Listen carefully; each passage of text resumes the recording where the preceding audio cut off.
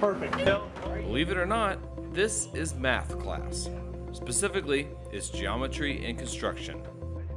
Students at Andover High School spend one hour in geometry class and spend another hour in the wood shop, learning how geometry principles are applied in a real world setting. than just sitting in a regular classroom just learning geometry and they're like why do i ever why do i need to learn this when am i ever going to use it now they're seeing oh we actually do use it in everyday life The first project students completed early in the school year was a house made of balsa wood.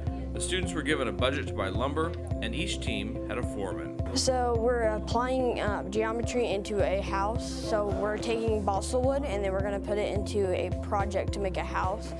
And it's kind of prepping us for we're going to make a shed. If you don't get the precise measurement, like you can't really put everything together. So if you don't do something right, it's going to mess up. Students also learned about rise and run by building stairs, and they hone their building skills by constructing dog houses. Let's go. Get the gun. Where's my gun? Then came the big project a backyard shed.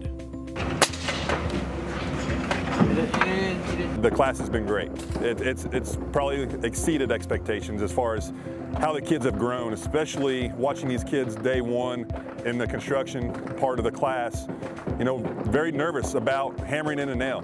Some of them have never done it before.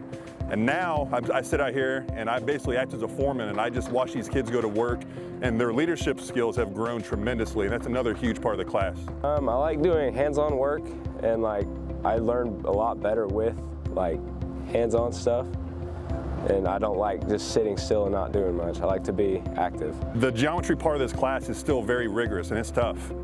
And for some of these kids who have struggled so much in math in the past, to fight through that in the classroom just so they can get out here and apply it, that's what's been really fun to watch.